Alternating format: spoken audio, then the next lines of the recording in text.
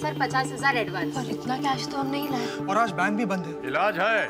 Digital payment का आसान सा ढोल लेकिन- अरे अरे घबराइए मत। सावधानी के साथ करेंगे तो कोई साइड इफ़ेक्ट भी नहीं होगा। फ़ोन लाइए मुझे। यहाँ फ़ोन लगाइए। डिजिटल पेमेंट से लेन देन हो सकता है। आसान सुरक्षित और तेज।